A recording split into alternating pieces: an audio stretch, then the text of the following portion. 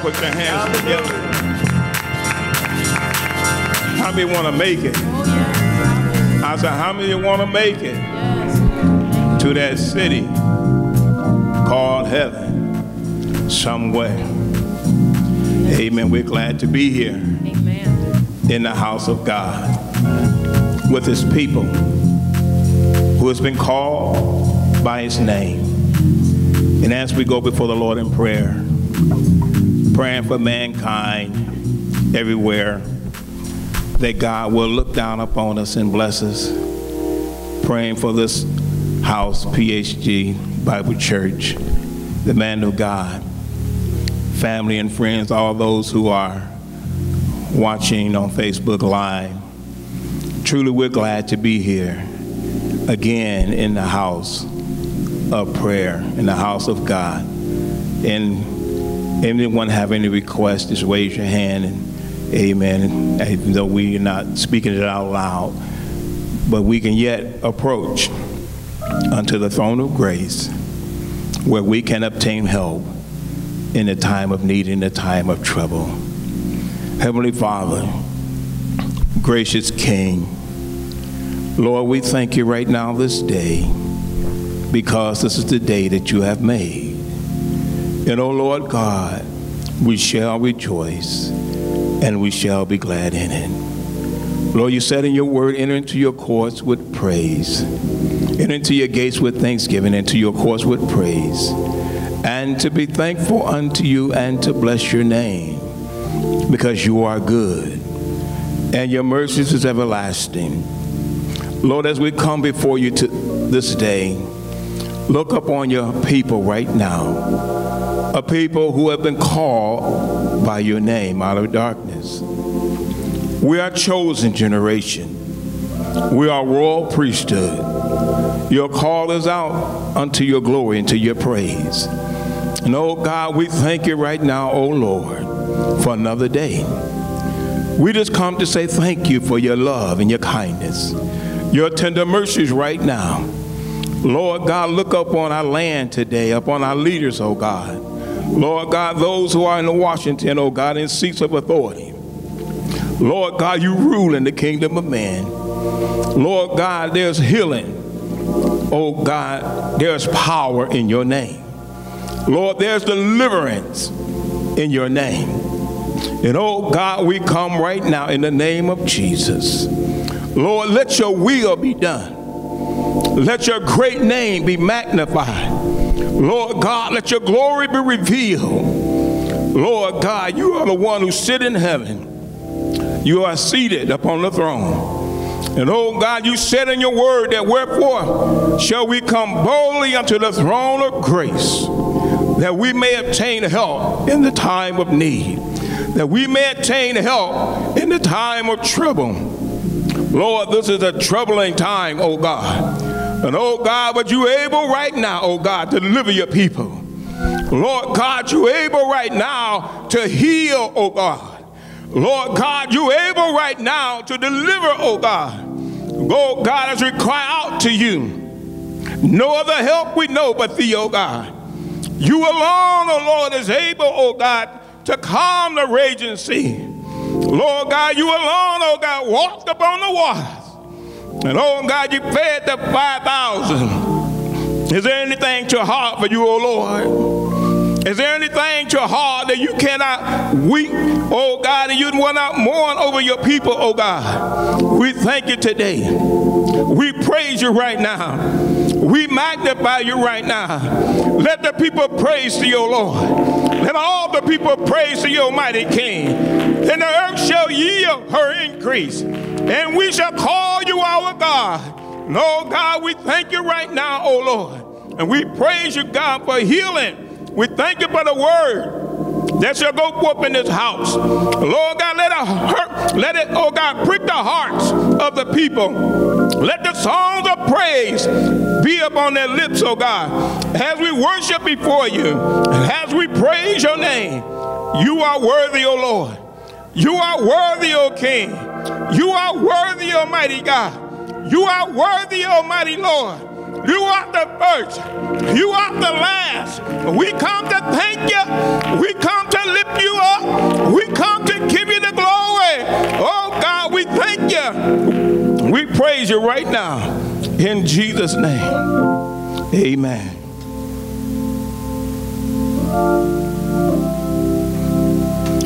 Scripture this morning is actually going to come from two passages of scripture first in the book of Mark, chapter 1.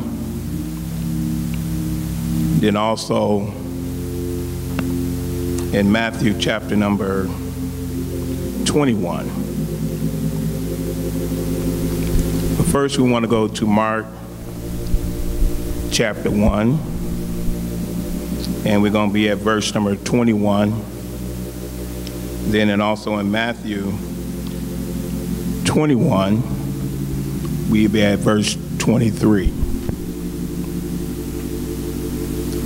In Mark chapter 1, it reads, Then they came unto Capernaum, and immediately on the Sabbath he entered the synagogue and taught. And they were astonished at his teaching, for he taught them as one who had authority, and not as the scribes. Now there was a man in, the, in their synagogue who had an unclean spirit. And he cried out, saying, Leave us alone. What, what have we to do with you, Jesus of Nazareth? Do you come to destroy us? I know who you are, the Holy One of God. But Jesus rebuked him, saying, be quiet and come out of him. And when the unclean spirit had conversed him and cried out with a loud voice, he came out of him. Then they were all amazed, so that they questioned among themselves, saying, What is this? What new doctrine is this? For with authority, he command even the unclean spirits, and they obey him. And immediately his fame spread throughout the region round Galilee. And in Matthew 21 and 22. Now when he had come into the temple, the chief priests and the elders of the people confronted him as he was teaching and, and said, By what authority are you doing these things? Who gave you this authority? But Jesus answered and said to them, I also will ask you one thing, which, of, which if you tell me, I likewise will tell you by what authority I do these things the baptism of John the Baptist, where was it from? From heaven or from men? And they reasoned among themselves, saying, If we say from heaven, then it will say to us, Why then did you not believe him? But if we say from men, we fear the, people, the multitude. For all were counting John as a prophet. So they answered Jesus and said, We do not know. And he said to them, Neither will I tell you by what authority I do these things. May God add a blessing to the reading of his word. Jesus. Hallelujah. Thank you, Jesus. Hallelujah. Praise the Lord, everybody. Hallelujah. Praise the Lord. Hallelujah. Isn't he wonderful this morning? Know God like him. Hallelujah. He woke us up this morning. He put the breath of life in our lungs. And the day we come to just pour out that praise, give it back to him what he's given to us. Amen. How many are joining with us this morning in worshiping our great God?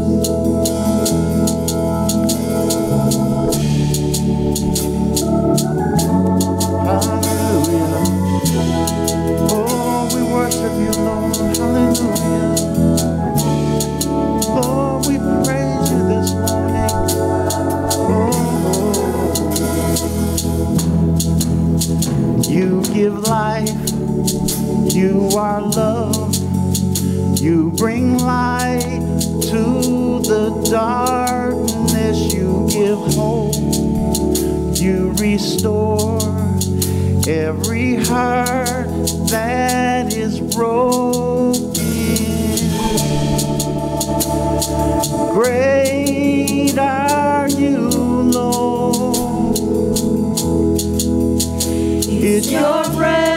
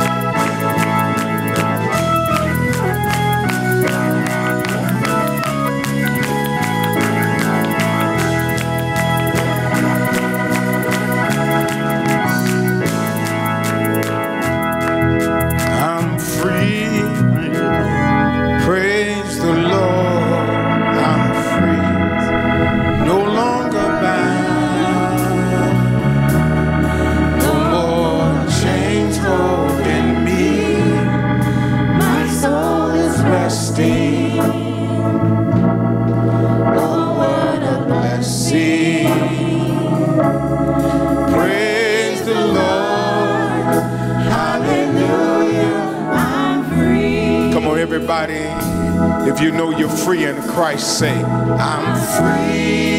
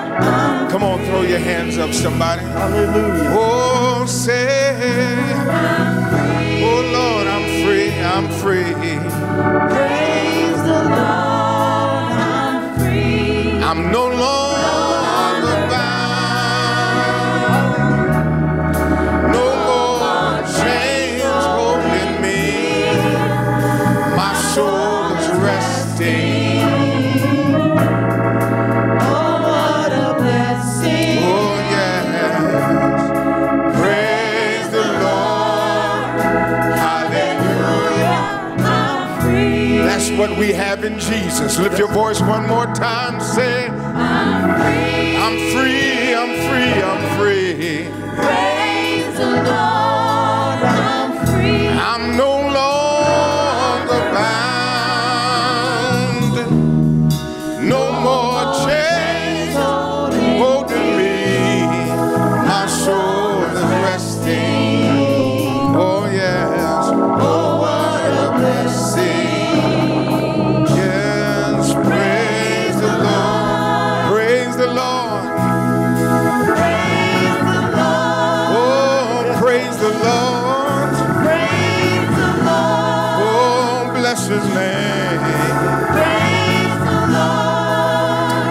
Praise the I give him the praise, the honor, and the glory. Oh, yes. Praise the Lord. Hallelujah. I'm free. Hallelujah. Praise the Lord. Somebody all over this building, somebody lift up the name of the Lord. Hallelujah. There's freedom in Jesus. There is freedom in Jesus. There is freedom in Jesus. Praise the Lord. Praise the Lord. Praise the Lord.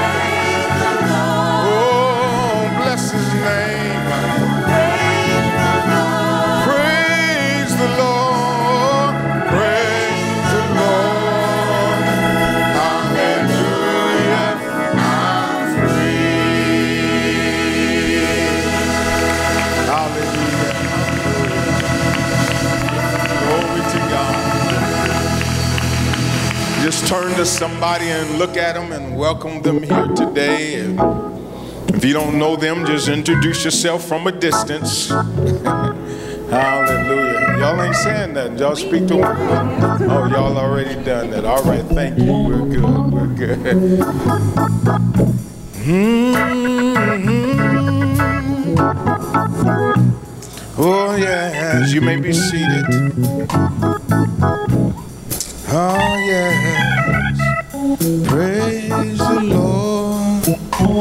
Hallelujah. I'm free. Well, welcome everybody to Power, Hope, and Grace. Man, we believe in the power of the Holy Spirit. We believe in the hope that goes beyond this life. And we all understand that we're saved by the grace of God. If it had not been for the Lord on our side, we would not we would not have made it. We would not be here today.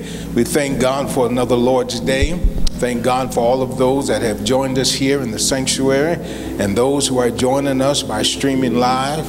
Amen. And those that are sitting here, they are social distancing and they're wearing their mask. And we do encourage you, let us help one another out. We don't want anybody to be offended or offset. So, uh, for the sake of others uh, as well, wear your mask. your face dress. One of these old days, this will all be over. when, I don't know, but it'll all be over. But until then, we do encourage you, and our deacons, they encourage you. So if they ask you to wear a mask, do not get upset with them. Do not be angry with them. Uh, you can take it out on me if you want. Uh, I've been doing this for a long time. but uh, we do encourage you. Once again, thank God. Uh, he has blessed us. And listen, let us thank God for some much needed rain. We needed some rain, absolutely. It's been dry, as, but thank God that we got some good rain last night, and I hope some more come. Yeah, I wouldn't mind if one of those rains came where it just drizzled like for 24 hours straight, just.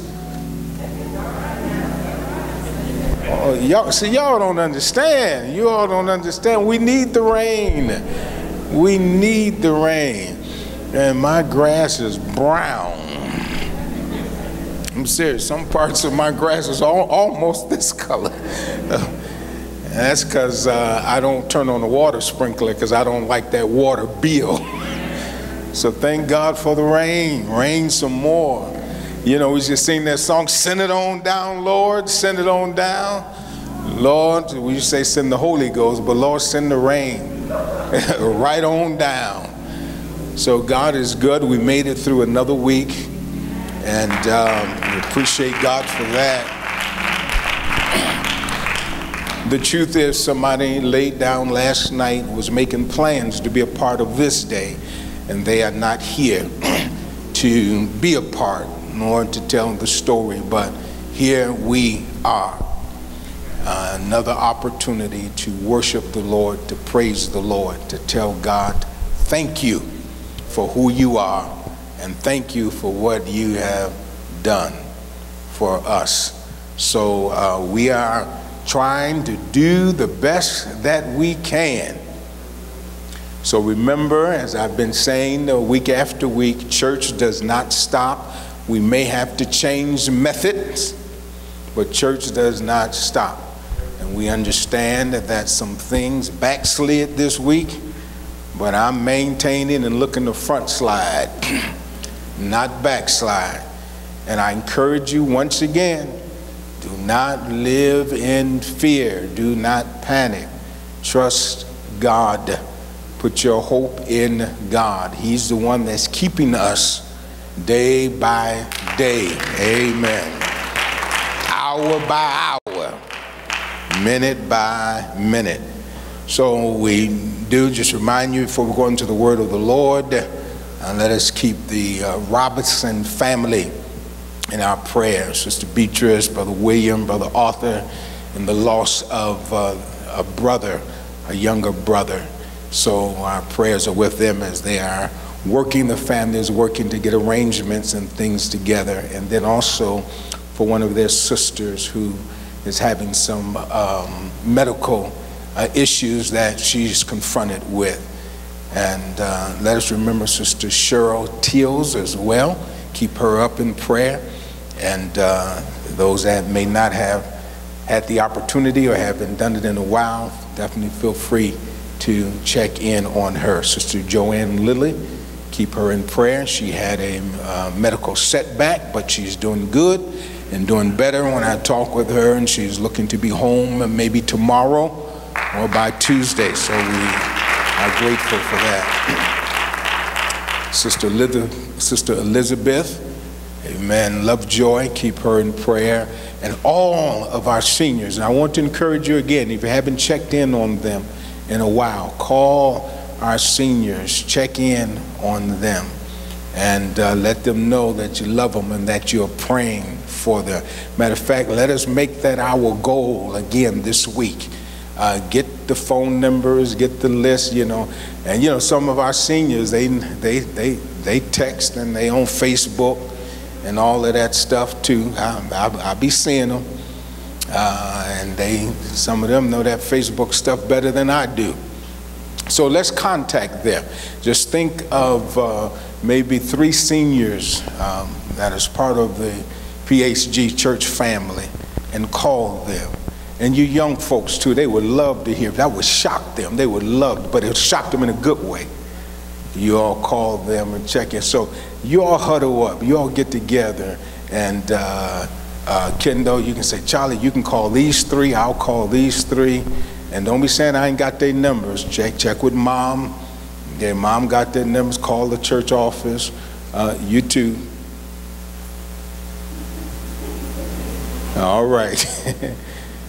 you too, Johnny. It's good to see you today, buddy. Your haircut look nice. Yeah, looking good, man. So, uh, Israel, we want to help cheer our senior saints. Amen. We want to cheer them up. So they would love to uh, hear uh, from you. I uh, talked to some this week and uh, tried to uh, um, contact another one and, and was not able. And, and this is the other thing, and this is so important. When you are change your phone number, please let us know. I'll be dialing numbers and then next thing I know, boom, this number is out of service. And then I'll be dialing cell phone numbers and like, uh, uh, you got the wrong number. I'm like, wait a minute. So we have to update. Make sure we update. When you change your number, call the church office and let us know um, what's going on.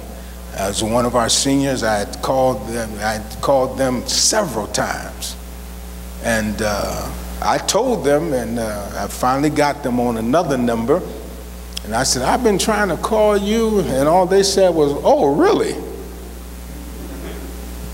And I didn't bother. I was just glad that I got them on the number I got them, you know. And if, you know, that's the only way that we can contact if, if we have the right number.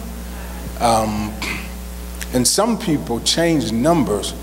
I, just didn't I don't quite, I don't know. People, change, they just change numbers. I mean, so many times. Yeah, I've kept the same number for 20 years. Oh, that ain't in vogue. That's not in style to keep the same number. But people be changing numbers. So uh, keep us updated. Is that all right? So we can uh, call. So I did my three this week and I'll do three more. Now, don't be calling me because I ain't a senior. Talking about, well, well, I'm calling you. You said call the seniors, Pastor. Stop it. The devil is a liar and the truth ain't in him. All right, you can call JoJo and, and you, you know, uh, and call Earl. okay, but, um, and that's our way of engaging. See, when we are not able to uh, have church in full numbers, what we don't want is to become comfortable in not seeing each other. We don't want to become comfortable in not checking in on uh, one another. And Joe, I was going to call mother this week, and I got tied up, and it got by me. She celebrated her 85th birthday. My wife tells me, Mother Roberts, Mother Margaret Roberts, 85 years old. God bless her and just a very uh, wonderful. She said, "Mama's looking good too and doing good." She's just a very wonderful woman of God, full of godly wisdom and knowledge, and uh, she has been such a great blessing to my wife and family and me personally down through the years. She have encouraged me along. So I thank God for Mother Robert, and I'll be looking to uh, make a call to her as well. Okay, so you all check in. Don't get used to not, you know, uh, we haven't been able to see each other, uh, you know, as consistently as we once did. And I know they have all of this, uh, what they call it is FaceTime and, and things like that, and zooming in, and all of that's good as well. And we can take advantage of those things, but I like to physically see people, so we'll be happy when we can shake hands again. Uh, and, you know, instead of elbow bumping, we can get back to fist bumping and then shaking hands and then hugging one another. And I know some of y'all are not delivered. So I want nobody hugging me, and, and, and especially right along through through here. Come on, where's your power? See, back before all of this, you was rebuking stuff. I ain't heard nobody rebuking Corona lately. you was pleading the blood. Ain't nobody plead nothing. Like, don't touch me, don't violate my space. Wait a minute, one, two, three, four, five, six. Now, what did you say? All right, so um, God is good. We are back in our two sessions on Tuesday of Bible teaching. So you can join us, and those are aired also by way of stream uh, Tuesday. If anybody want to come out on Tuesday afternoon, you can feel free. We are over in the Samuel Talbert uh, room, and um, we're practicing proper distancing there as well. So you can come out and join us in Bible class. If you don't make it out, check us out. I was talking to one of our seniors this week, and they were saying that they watch us all the time. And um, another uh, sister was just saying, I was watching the service and uh, it was just so beautiful, was not able to make it. And they said that uh, the word of the Lord and the service just had them in tears, tears of joy. And that's uh, a good thing. I refuse, with the help of God, to be defeated. I refuse to allow my mindset to be incarcerated by the pandemic and everything else that's going on. I'm not going to let this stuff stress me out. And uh, when I say that, that's through God's help, the working of the Holy Spirit, because I don't have the strength and the power in and of myself. But there is a God. Hallelujah. And we have a right to lift up our eyes to Him as Israel did. And we can ask Him for His uh, help. Amen. So I am not scared. Let us go back to the book of uh, Joel or Joel. Pass me not, O gentle Savior. Hear my humble cry.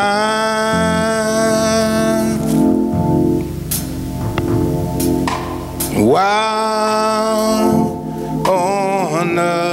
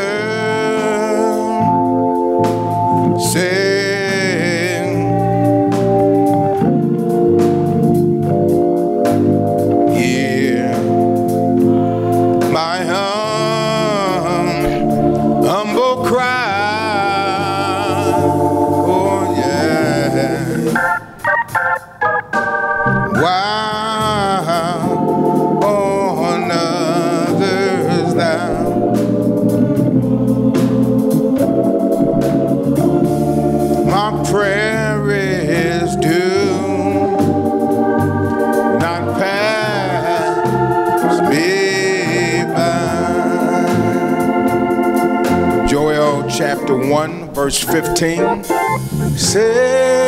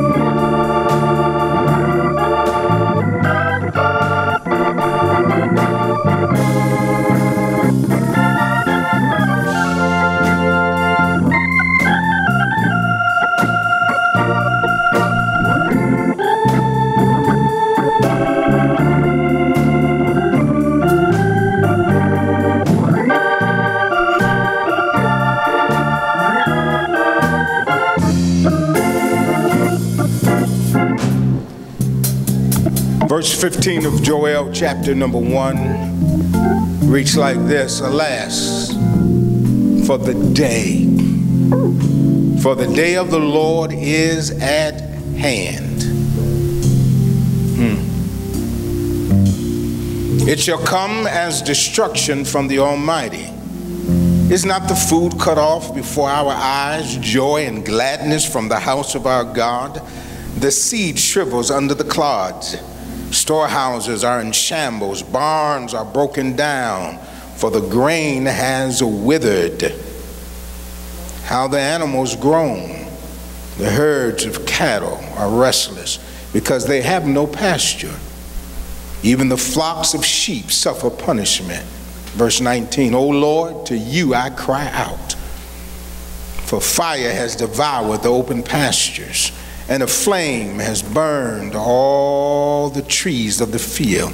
The beasts of the field also cry out to you, for the water brooks are dried up, and fire has devoured the open pastures.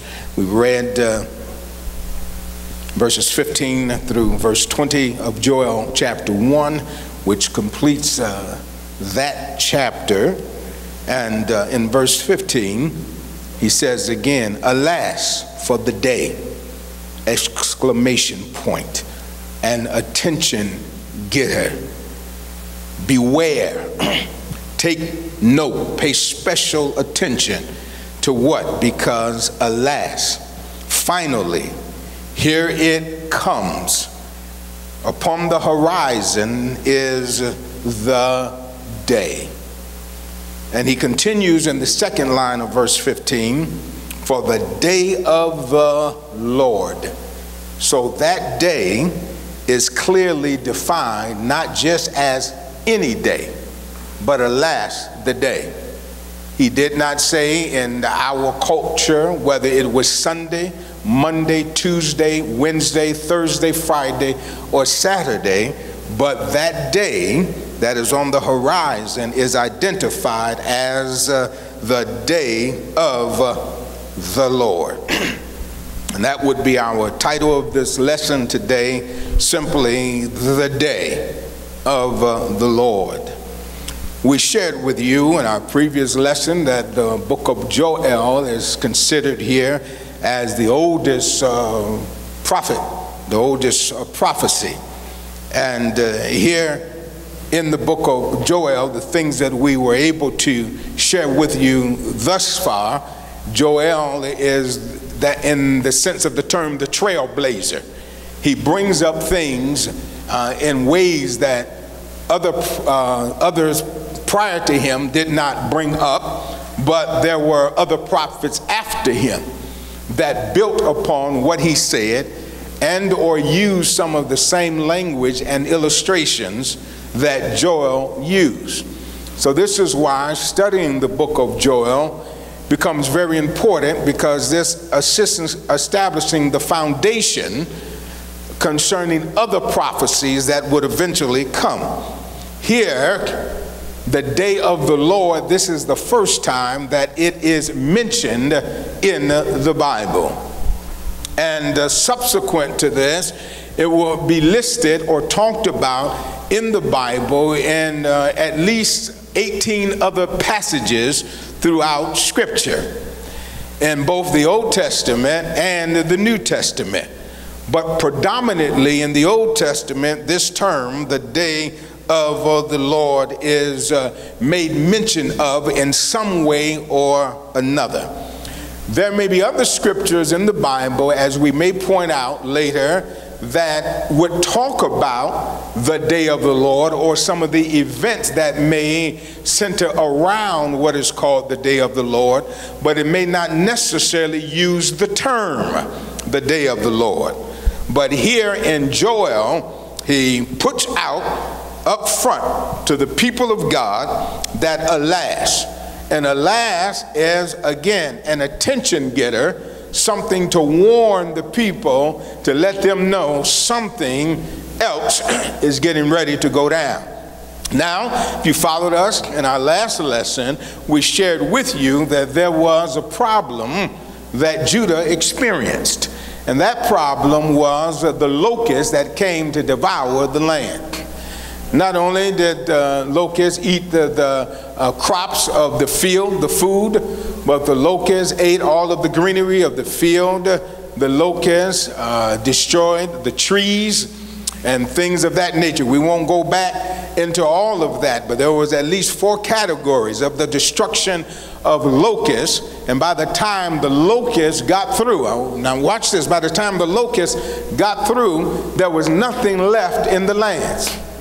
There was no crops that could be gathered in to store up into the barns. There was nothing for the animals to eat.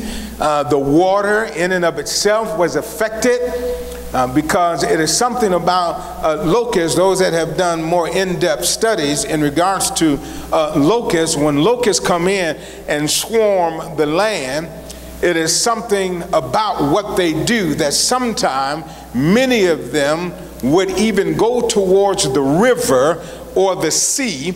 And the reason they would go towards the river and or the sea was to try to get to the vegetation that's in the river. We call it seaweed or lily pads. The locusts would try to go and eat that, but the problem that they would encounter when they would swarm the water is that they could not get to the vegetation and they would be drowned.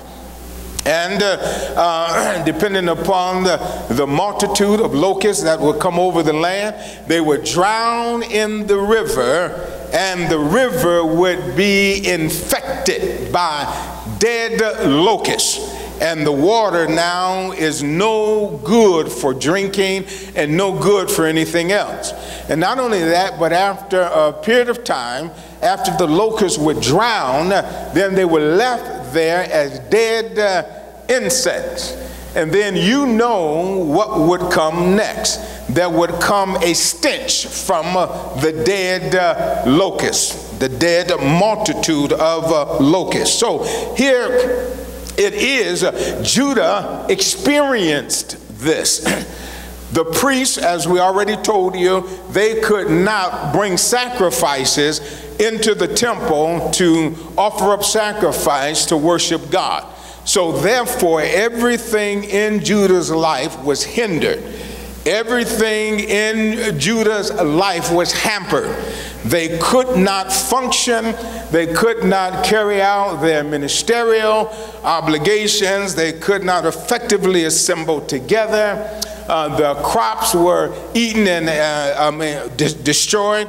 And once the crop was destroyed, there was no surplus.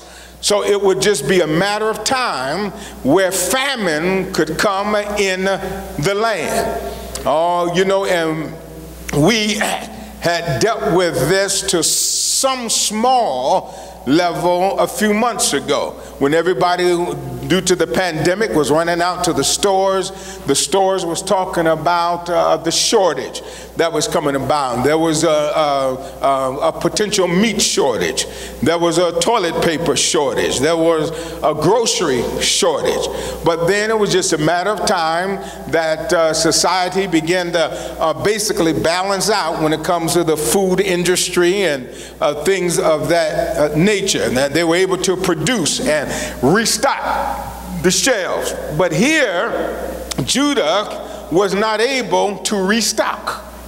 Oh my. And then the animals now, they are hungry because the locusts ate up all of their food. The, lo- the ox could not eat grass because the locusts destroyed, devoured the grass.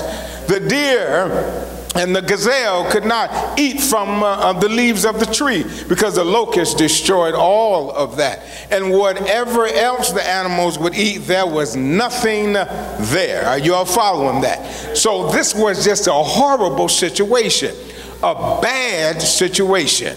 Lord have mercy. Uh, the priests, they uh, had uh, uh, an indefinite layoff. And it was not that they wanted to be laid off, it was just that they didn't have anything to operate with. Went to church, couldn't offer up. All of this was going on until the land was left parched. But Joel says something here, people of God, that is very interesting to me. If I may have your undivided attention, Joel says all of this has gone on, and we left off in our last lesson of reminding you that uh, God dealt with Joel to tell the people to get yourself together and consecrate a fast, call a sacred assembly, gather the elders together Get all the people of the land together, and you all go down in sackcloth and ashes and call on the name of the Lord. Now, sackcloth, we're going to come across this again, but sackcloth was a, a garment that the prophets and others would wrap themselves in. And it was a garment or a blanket uh, that was not smooth like silk. It was a garment that was rough. And what they was actually doing was what the Old Testament called they were afflicting their soul. So they could withdraw from everything else and give all of this time over to God. So when they would wrap themselves in sackcloth, that sackcloth would irritate their skin. And uh, one of the reasons that that was good is because that would potentially help them to not fall asleep during their prayer. Sometimes when we pray today, our number one MO is to find out how comfortable we can get. We get two pillows and we get a thick blanket and a quilt. And uh, we get our house shoes and we sit down and we say, I'm going to pray. And how many of us know how well that goes? We get down there, and in seven minutes, we in a whole nother land called the land of sleep and slumber. But I dare you to get uh, uh, some sackcloth and kneel on some sackcloth, kneel on a hard floor. You know, we don't kneel on hard floor nowadays. We say our knees hurt. Arthritis is setting in. But this is what they would do, and they would do this as an outer display of an inward heart conviction. So that's why what uh, uh, ashes uh, uh, denoted and the sackcloth denoted a time of remorse and a time of uh, repentance. So we did share with you that all of the other prophecies called the people together during their assembly for a time of joy and jubilee.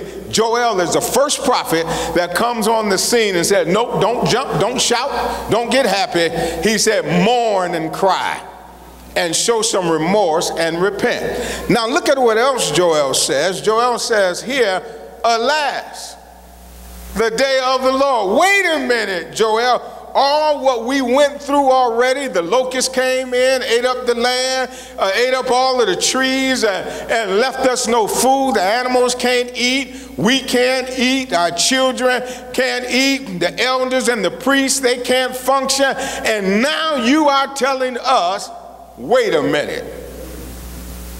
The day is still coming.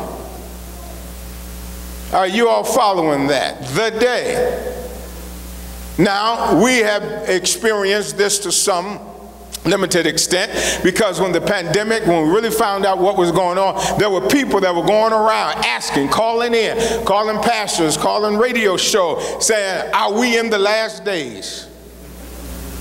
Is this the last days? What? Because the Bible says that there will be pestilence and there would be diseases. And I'm sure that there were those, no doubt, in Joel's day that thought or felt that enough was enough. All of what we went through with the locusts coming in, and Joel is not finished with his prophecy, and he comes around and said, The day of the Lord is at hand. What in the world is going on? And many people may have felt that way, in particular, right here in the United States of America. See, the, the, the, the, citizens of the United States of America, can I tell you what our problem has been? Thank you. I'm going to tell you anyway. Our problem has been is that we have been spoiled. Many people in America don't know how to suffer. There are people right now, they don't know how to suffer. You know as well as I know that there's somebody that you know that might be sitting right next to you when there was a food shortage. People was going to Walmart buying stuff that they couldn't even afford. And some folks still got that stuff way back that they bought three months ago.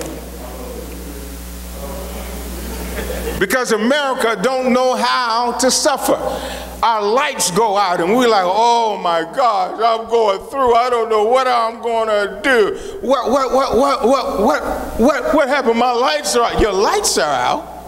And you going through like that. Now, I'm not talking about you unless I'm talking about you. And if I'm talking about you, say ouch and then say amen so we can move on. We don't know how to suffer. I shared with you when we were in uh, Haiti uh, it matters not how hot it gets, that it gets dark relatively early.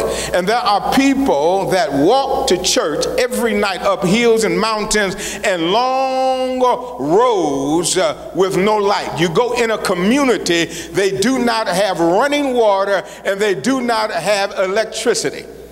You can walk through any given community and it is pitch black. I'm talking about right now today. Pitch black and dark. And all you hear is voices sitting out on the porch trying uh, to get a breeze because it's so hot. And this is how they live every single day, day after day after day and a pandemic break out, and of course, something that we're not quite used to, that people, oh my God, they think it's the end of the world. But can I prophesy to you, just like Joel prophesied to Judah, we haven't seen anything yet. Just as what they went through would not necessarily be compared to what was coming. Now, I know we live in a day and time where people come to church, and you that are tuned in, we don't want to hear doom and gloom. We don't want to hear that. We want to hear, tell me something good. I like it. Uh, like we want people to tell uh, these young folks had no clue what I just did. All right, uh, uh, uh, uh we, we want something that's going to make us jump, something that's going to make us shout, something that's going to make us run. People sometimes want you to prophesy to them and tell them sow a seed, and in seven days you're going to be blessed. But Joel wasn't telling them to sow a seed. Nor was he telling them in seven days you're going to be blessed. Oh, how many of us are ready to shout now? He wasn't telling them in seven days you're going to be. He said, Alas, the day of the Lord. Wait a minute, Joel. We just went through. Alas, the day of the Lord. Wait a minute, Joel. The locust came and ate everything up. Alas, the day of the Lord uh, is uh, at hand. And that which is at hand is that which has not happened yet, but is fitting to. It's getting ready to happen. So this pandemic that we're going through right now, it is just uh, emblematic. It is just a sign of what will eventually one day come, and it will be worse. And the comparison uh, cannot necessarily be weighed on the same scale. Things will get uh, worse in uh, some sense before it gets better. But may I remind you, for the born again believer, even a day like today is one of the greatest hours that a believer can shine. Because in this hour of pandemic, in this hour of test, in this hour of trial, the believer has the message that is the antidote uh, to the situation, and that is Jesus Christ is Lord. He is Lord. He is king. he is savior. He is a waymaker. He is our deliverer. So the Christian has an opportunity to stand uh, up. So Joel says in that last line of verse 15, he says, It shall come as destruction. You all see that? It shall come. Wait a minute, we just went through. You see how quiet it gets, but I, you know, I found out after preaching for a while, sometimes when it get this quiet, that means you're really saying something. Sometimes you're going 90 down the road and everybody jumping and shouting, you, you need probably go back and check what you're saying. Joel said, It shall come. It has not come yet, but it shall come. And what's going to come? Destruction from who? The Almighty. May I remind you that God is not through with what He is uh, doing. God is not through in even that which He allows. It was the Apostle Paul that made statements such as, I have learned in whatever state that I in therewith to be Three people, let the record reflect, three people know that. I don't know how many in Facebook land know that, but Paul said, I have learned. And I'm going to tell you something, people of God, fellow believer, we all must learn how to be content. And content says uh, that when we go through, uh, that God is still worthy no matter what. And I'm going to give God what he deserves. And God deserves uh, all of our praises. But there comes a point and a time where Joel said uh, that uh, even though uh, the food uh, is cut off before our eye, even though, verse 16, there is no joy and there is no gladness from the house of God because we cannot worship and do the thing that we desire. We plant seed, but the clods, and that has reference to the dirt is so hard. There is clumps of dirt. The dirt now is so dry until it's like clay. So if you plant a seed, the seed cannot germinate. The seed cannot sprout. And uh, there is no moisture in uh, the ground that gives the seed any strength to yield. So this is now what is going on. There is nothing uh, in uh, the barns. You can't go to the barn because everything now has been taken off the shelf because a drought have come uh, into the land and everything that was stored up is now gone and we are left empty. And he says in verse number um, 18 here, he says, and look at what is happening. He said, the animals groan. Now, if the animals are groaning, you know the human beings are groaning as well. Why? Because they don't have anything. Have you ever been in a situation in life where things seem to have gotten so uh, bad that all you could do was groan?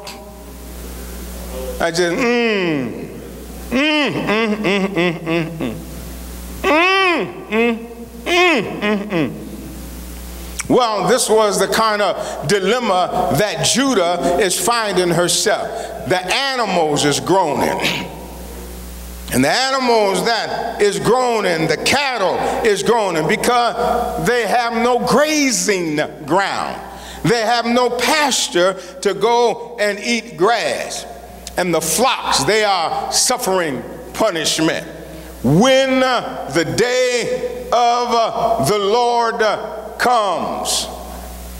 The Bible says this in the uh, New Testament, and as Jesus talking, Jesus says this. He said, Listen, there is going to come a time of tribulation that has never been known to man. And it is the tribulation that will uh, come that has never been known to man. Then he said, uh, Then after that shall the Son of Man appear in his uh, glory the Son of Man is going to appear. And the stage is going to be set up, Jesus said, because uh, the uh, heavens are going to get dark. The sun will not illuminate its light. The stars would not twinkle. The constellation would, as it were, be fused out or die out. But then all of a sudden, like lightning flashes from the east to the west, the Son of God is going to come uh, in his glory. But when is that going to happen? That is going to happen after the tribulation of those uh, days. So everybody wanted to get better. And I promise you, with the help of God, by the time we get through this, I ain't gonna leave you in the valley. Look at your neighbor and say, neighbor, we coming out of the valley.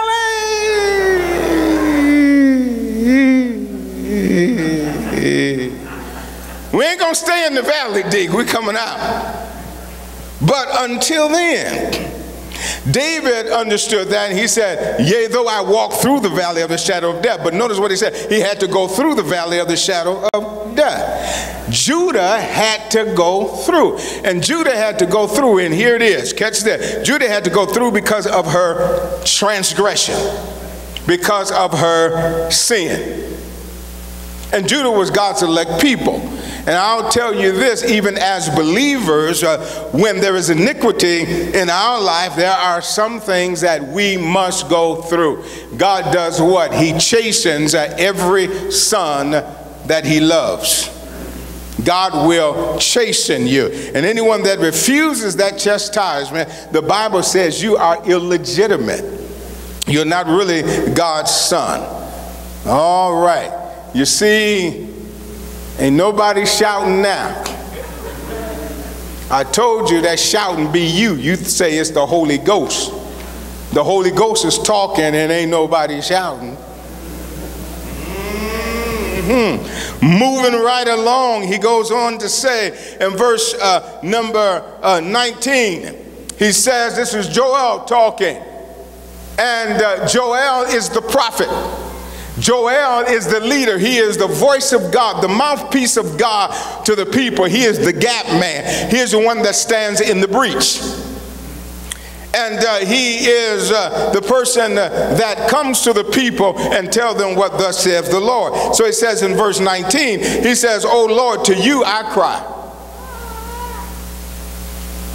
I'm going through. The locusts have come in. And now you're talking about the day of the Lord. And the day of the Lord is uh, ultimately going to be worse than what has already happened. But he said, Lord, to you I cry. So for us today, it is important for us to know who to go to and who to turn to in the time of uh, trouble in the time of suffering, in the time of uh, going through, in the time uh, of uh, affliction, it is important for the people of God to know that God is still on the throne. And what God will do for his people, now this is not going to happen for everybody because remember, the day of the Lord is the destruction of the Almighty. See, this earth, the Bible said that this earth right now, just as the sons of God groan Uh, and yearn for the coming uh, of the Lord, for the manifestation of the sons of God. In other words, every individual that is a born again believer, there is something in the reservoir of their soul that yearns for the coming of the Lord Jesus Christ, something that yearns for this mortal to put on immortality, for this corruptible to put on inner corruption. And why uh, is that? Because uh, in our soul, in our innermost being, in that relationship that we have with God, uh, God works in us to remind us that this earth and this world as we know it now is not our home. So the destruction of the Almighty comes to the believer by way of test and trial so we can kill out the flesh. Can I get a witness? Uh, Paul says this in the book of uh, Colossians. He said, Mortify therefore the deeds of this body. You got to kill it out and you have to do what? Set your affections on things above and not things down here in this earth. And the late Bishop McCray used to say it like this that quit catering to the flesh. The only thing our flesh needs is a good killing. Because this flesh loves the world too much. This flesh loves stuffing things too much. This flesh loves that which the world's offer, unfortunately, sometime greater and at a higher level than that which God offers us. So the Bible uh, lets us know that uh, our inward man should be built up daily with the understanding that our outer man is decaying every day. So just as the Lord works on uh, this natural body, and Paul says it like this in Romans 6 12, he said, I write to you that you not allow sin uh, to have dominion and reign in your mortal body. So we have to constantly kill out this flesh.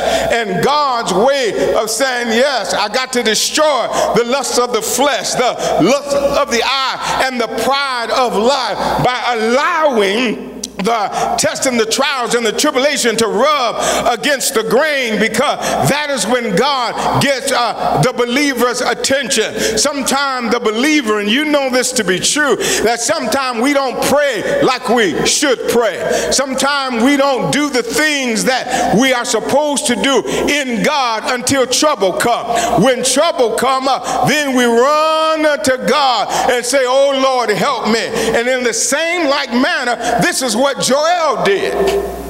Joel says in verse 19, Oh Lord, to you I cry.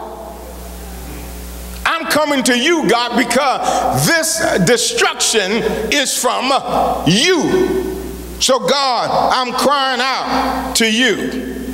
He says, for everything that we are experiencing, everything that we have uh, uh, experienced, uh, when the locusts came and devoured the land, it was like a fire came through and just devoured everything. Like everything was just uh, blown up, everything was just consumed. But God, I cry to you. Now, here's what I want you to catch Joel was a prophet, so that made him the leader of the people, so he had to cry first. And it would have been up to the people to look at what Joel Joel was doing. And if Joel was crying out to the Lord, then that was to trickle down to the people of Judah. They were to cry out to the Lord. And look at how necessary and how powerful this was. Not only was the prophet to cry out to the Lord, uh, not only were the people to cry out to the Lord, but now the animals are crying. Good God Almighty.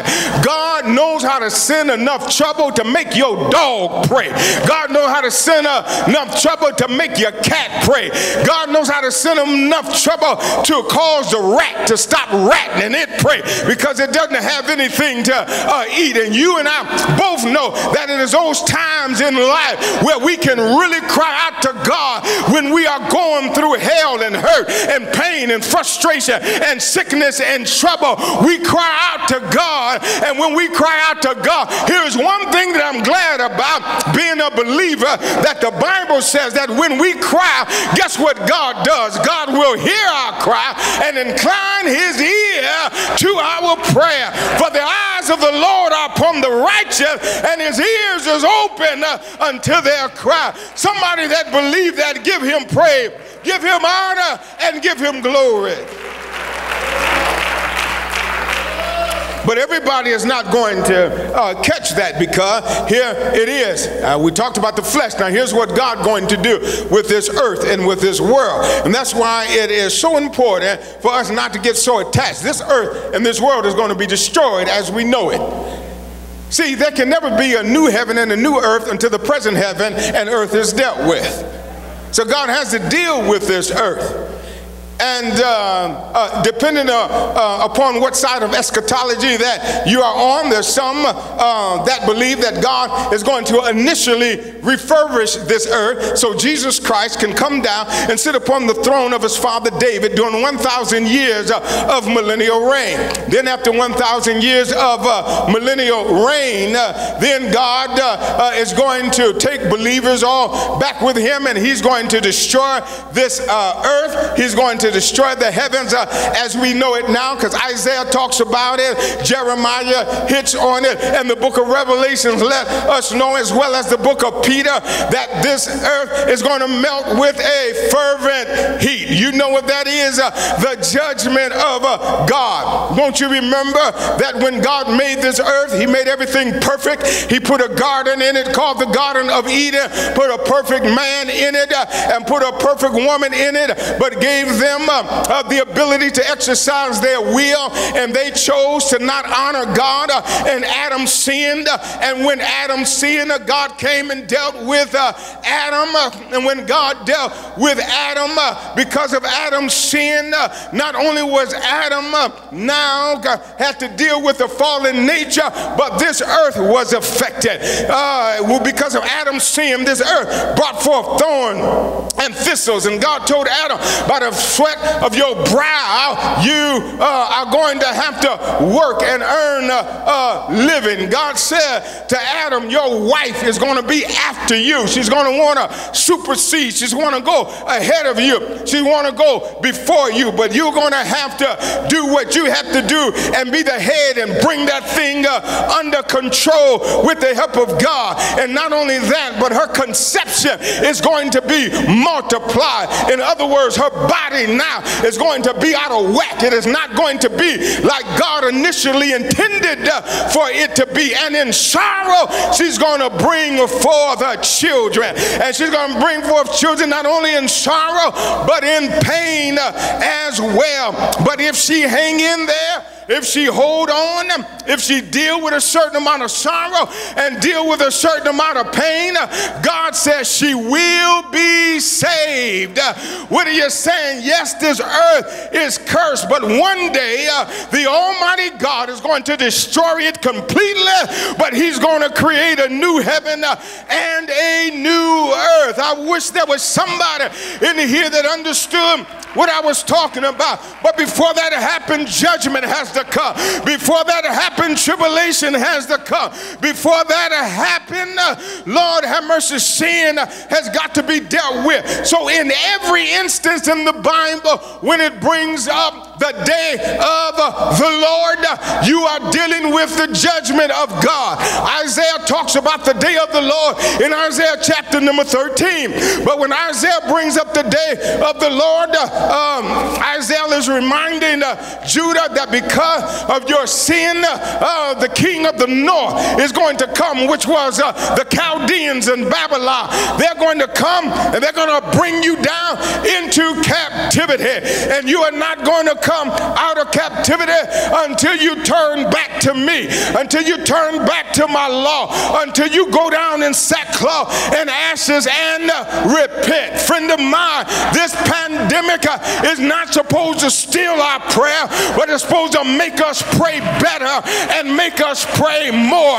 Are you all hearing me today? What we're going through uh, is not supposed to run us away from God, uh, but it's to run us uh, to God.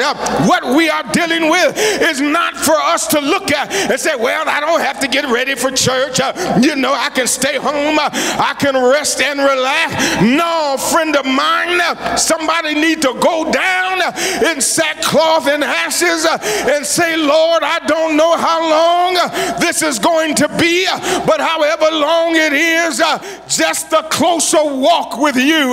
That's my prayer, God, is a closer walk with you. Uh, I don't want this thing uh, to pull me down, uh, but I want it to draw me nearer to you and nearer to the cross. Somebody tell God, thank you. God knows what he's doing. God wants somebody to cry out. Y'all gonna help me close this, won't you? God, well, I'll ride with the three people. Joel cried. the beasts of the field cried. And Joel, while he was praying, interceded for the beasts and said, God, the beasts of the field also cry. Now, how did Joel know that? I don't know. But whatever your dog name is, God can send enough trouble until your dog just come and look at you. And you know your dog is going through. Your goldfish, Lord, start leaning to the side. Oh, I know oftentimes we say, Lord, uh, open the floodgates of heaven and send down your rain. But some of us have gotten so far away from God until we honestly, Lord, uh, I recognize that I'm so far away from you. So I'm asking you to send down what you know that need to come in order for me to get my act together. And I don't altogether know what it takes, but this thing have gripped my mind as I told you last weekend, gripped my heart that God sends destruction. See, a lot of things we blame on the devil. Some people think the tribulation is Satan's work. When you read Revelation chapter 6 through 18, you find that the tribulation uh, is God's work. For I heard the angel cry in Revelations 15 when he said, Who is worthy to unloose the seals? They tell me that a search went on. A search went on in the earth. A search went on under the earth. And nobody was found worthy to unloose the seals. And the seals had to be unloosed. And the reason the seals had to be unloosed was so earth could be dealt with. See, earth, ever since the fall of Adam, have been reeling and rocking with sin. Ever since the days of uh, Adam, uh, uh, the earth have been in decline. And you know they have, even from the political standpoint, this thing that is called uh, global warming. You have one side that says that the earth is heating up, uh, and you have another side uh, that is saying, well, it really ain't all of that. But there's one thing that I do know is that sin messes up everything. You get a brand new car and pay $40,000 for it, and in three months you need an oil change. And in a year, things start leaking. All this is is to remind us uh, that things are corrupt. Can I get a witness here? You buy a brand, a new house, uh, and you move uh, in it, and you may have built it from the ground, but I'll give you about 12 or 14 months. Uh, you're going to walk in one day and look over into the left corner of the wall, and you're going to see a crack going all the way down the wall in your brand new home.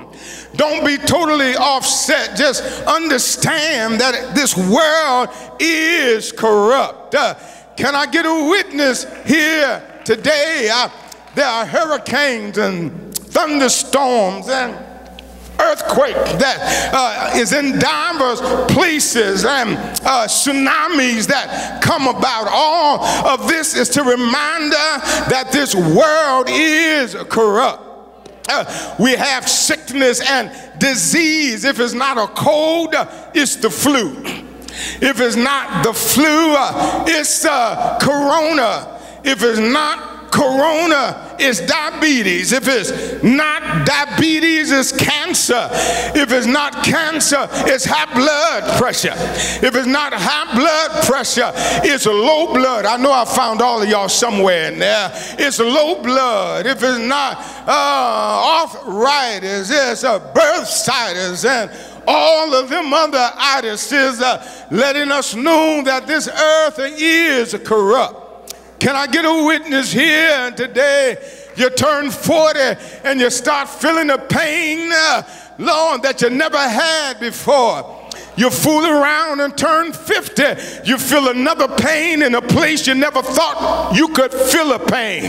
And then you live to get 60, and now all your hair is gray, uh, and half your teeth have fallen out. Uh, and you're looking to buy some somewhere. All of this is uh, to let us know that this world uh, is corrupt. Uh, so when the cry went out, uh, who can unloose the seals?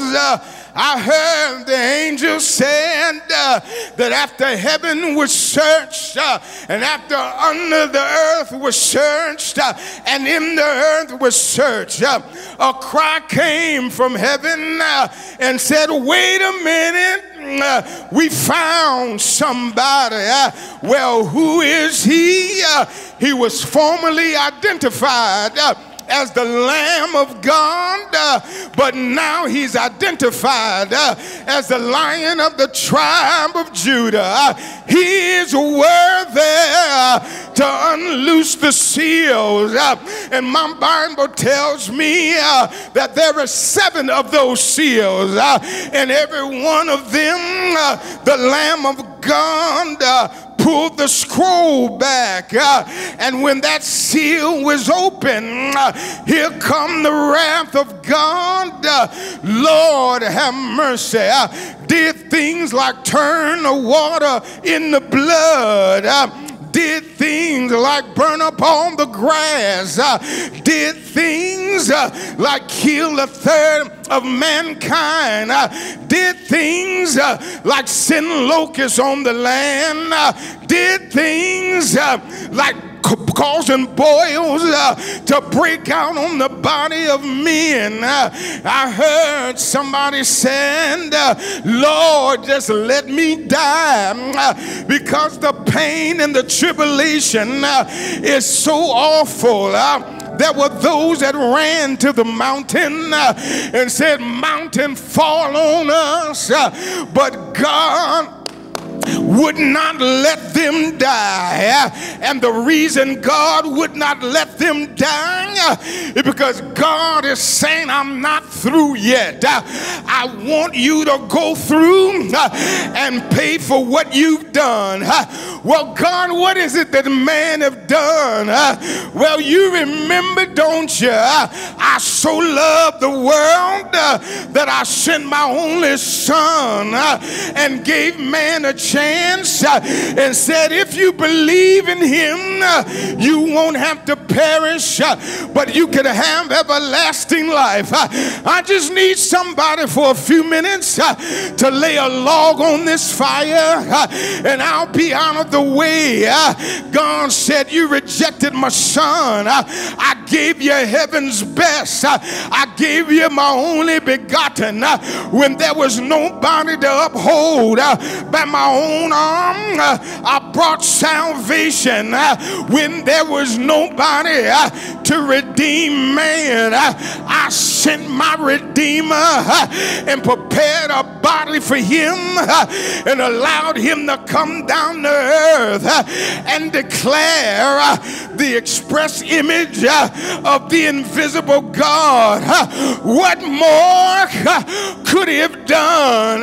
He laid the foundation and open up the door, and you dare reject him. I've got to deal with you. So when you say mountain, fall on us, I'm God. I've got the last word. The mountain is going to stay in his place until I get through. I stopped by here to remind somebody that God Uh, is going to cause this earth uh, to reel and rock. Uh, God is going to uh, this earth to shake. I heard the Hebrew writer said, everything that can be shaken will be shaken except that which remain. And the last I looked, the only thing that's going to remain is that which is built upon the word of God. Can I get a witness here? So from Revelations chapter 6, Revelations chapter 7, Revelations chapter 8, the seals are being opened one by one, one by one. Here comes judgment. Here come death. Here come pain. Here come frustration. What are you doing, God? Just roll with me.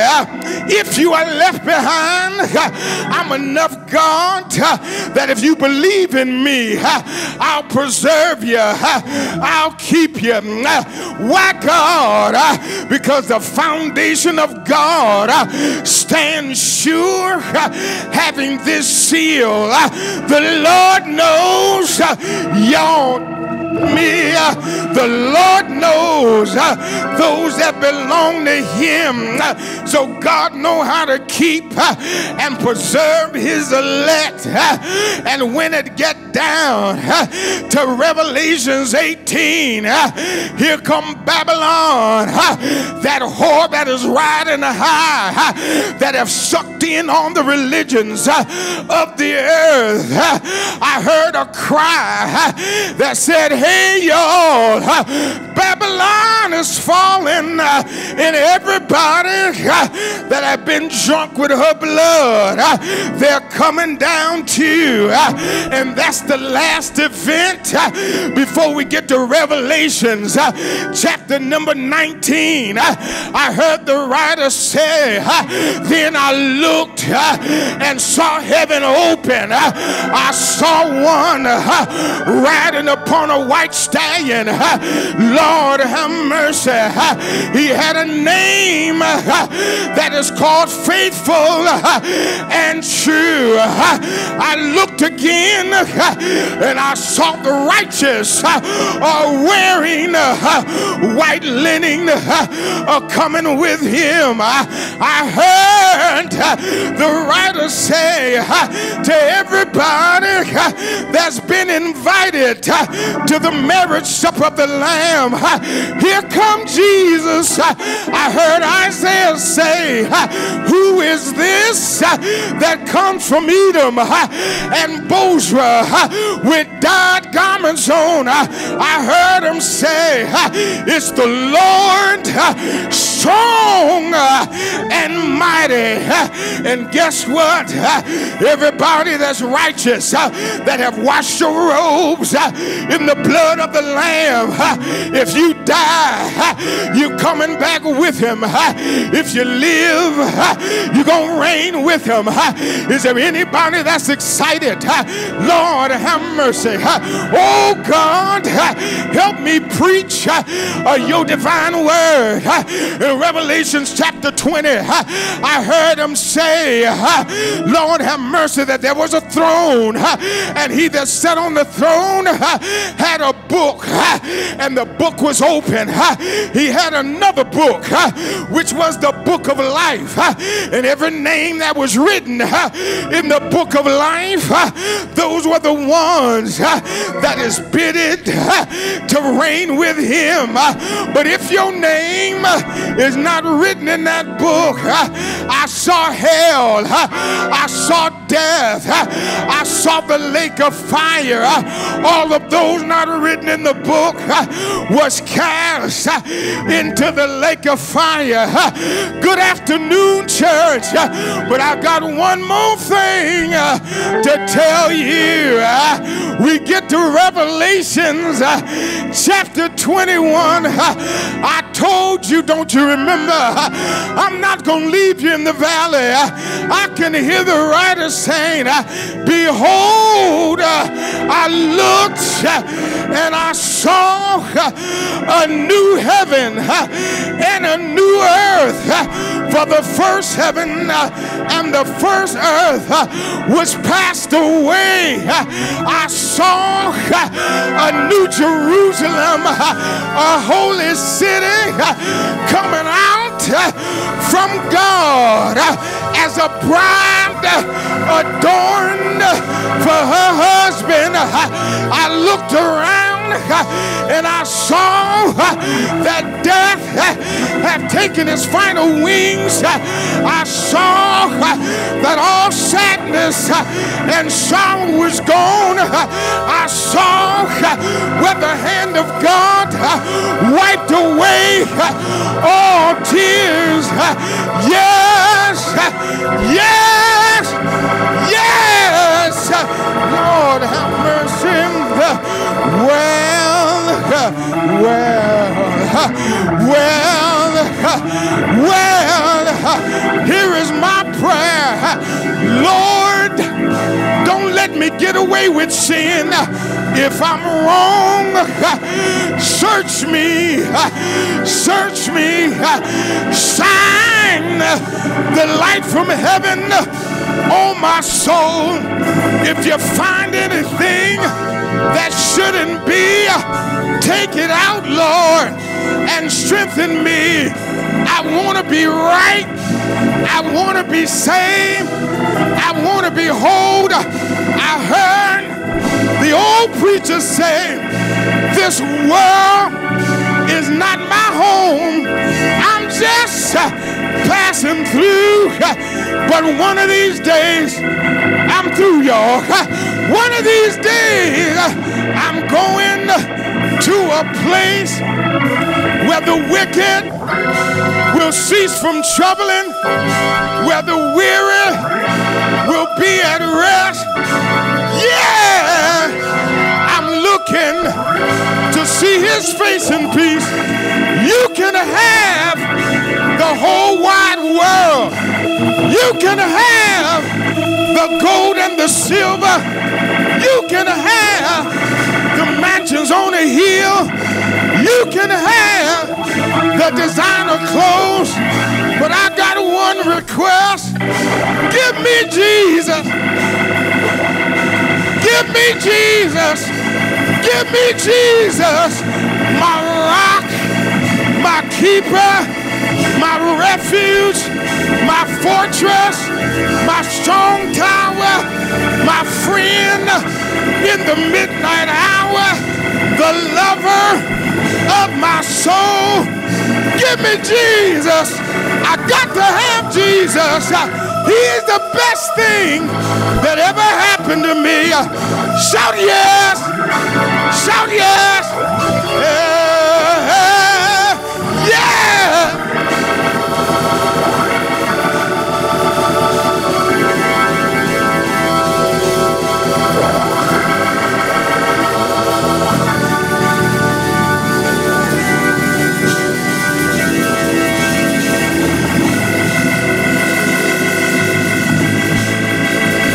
Somebody say, I ain't playing. I ain't playing. I got to have Jesus. Uh-huh. Lord have mercy. This stuff is all going down. One day this building ain't gonna be here. Oh, yes. But I heard somebody said the earthly house of this tabernacle is dissolved. I got another building. Oh, yeah. Not made with hands, but eternal in the heavens. Somebody give him praise. I'm going to stop. I'm going to stop. Hallelujah. Woo! I got to make it. Come too far now. I got to make it. I got to make it. In the midst of all of this, I've got to make it. Oh, bless his name. Hallelujah. Can you encourage somebody one more again? Just look at him and say, I'm going to make it. With God's help, I'm going to make it. And we're going to get out of here. I believe that thing. We're going to get out. Listen, when I leave, here's my keys. You can have them right out there. Go ahead, DeMarcus. You can have the car. Uh, DeMarcus said, no, he going up with me. Oh, yeah. you can have a couple dollars. It's about all I got anyway. You can have all that. I am getting out of here. So when the day of the Lord come, I don't care what our day of the Lord is, you hold on to God. Everybody that's not standing, if you can stand, stand with us. Hallelujah. Alas, the day of the Lord, hallelujah, it's at hand, but God got something for you and you and you. And if you're not saved, God has something for you. It's called salvation. It's called being saved. It's called being filled with the Holy Spirit. It's called being born again of the Spirit of God. And if that's you today, you need to ask God now, Lord, here I am. I'm a sinner in need of a Savior. And Lord, I'm the sinner and you're the Savior. Lord, save me, deliver me. Listen, you don't have to be in any particular place for God to fill you with the Holy Ghost. God can fill you with the Holy Ghost right where you're at. If you open up your heart and mind and ask Him with a repentant heart, hallelujah. It doesn't matter. As a fellow I told you, he was, they was telling him about being saved, and he was 30 some thousand feet in the air. And he said all of a sudden he thought about it and was going over what they told him about being born again. And it clicked in right then and there. And from that moment on, he had given his heart to the Lord. God filled him with the Holy Spirit, and he was walking for God, as far as I know, the rest of the days of his life. So it's not limited to a local place, it's limited to your heart and your heart condition. If you truly repent, say, God, I need you. God, I can't save myself. I can't go to anybody else to save me, but God, I'm coming to you. And if you come to Him, God promised you something. He said, if your heart is broken, if it's contrite, which means if you not only show remorse, but truly repent, God said, I'll save you. Man, it doesn't get any better than that. It doesn't get any better than that. We had someone that called into one of our programs on last week. He was having a situation and a circumstance, and we instructed them and said, Here's what you do you call the office, call the church, leave your name and number. We called them back, was able to minister to them. It was just a beautiful thing. So if you're not physically here today, you can feel free to call us. That number may be at the bottom of your screen with 313 895 7464.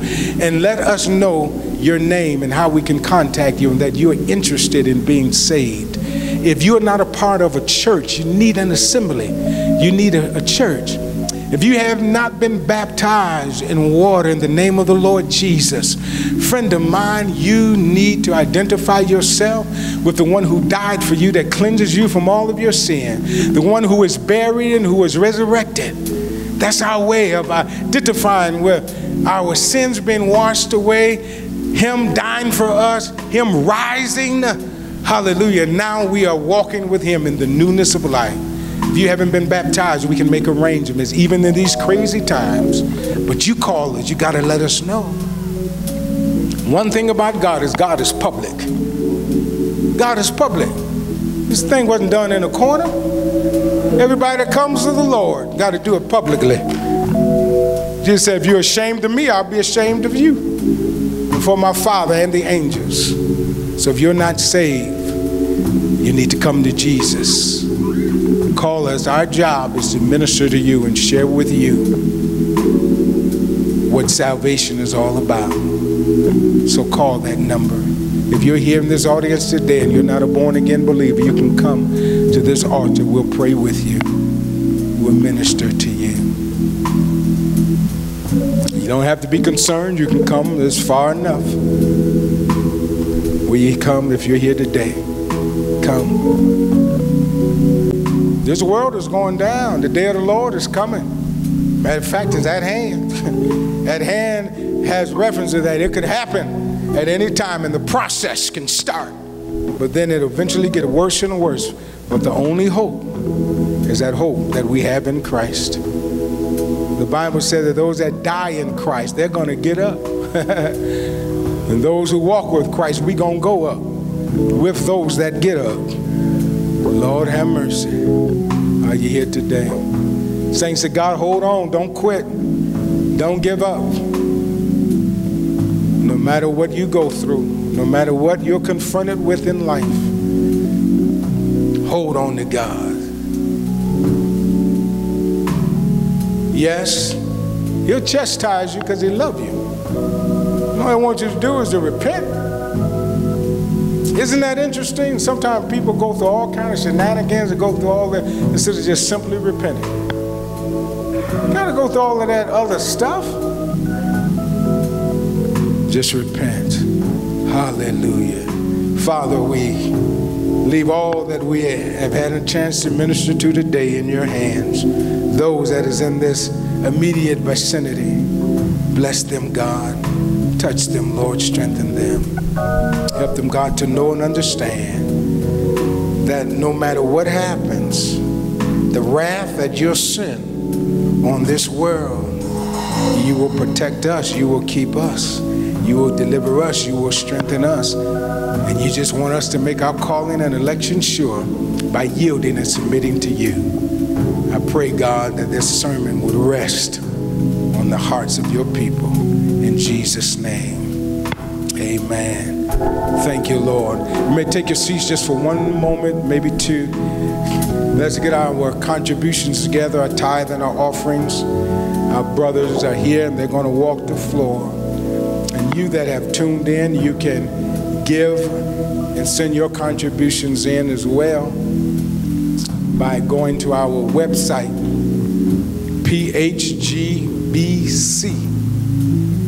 phgbc.org. phgbc.org. Go to the giving button, it's green. Click on that and follow the prompts. And let us give our tithe and our offerings according to as God has blessed us. Amen. Hallelujah. So let us give, let us give liberally. Thank you, Lord. We're going to let you go.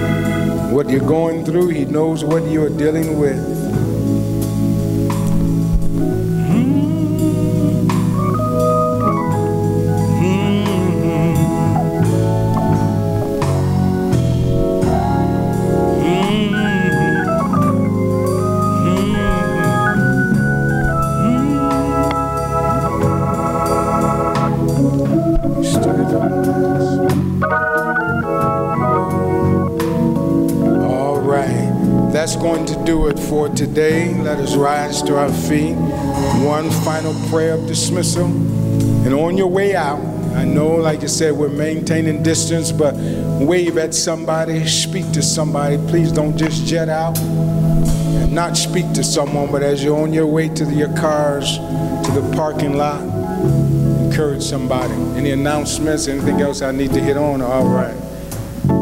Father, we thank you for this gathering today. We come now to bring this service to a close, but we rest in your presence. Let us be sensitive to the move of your spirit. Help us, God, that it will be fully surrendered to you.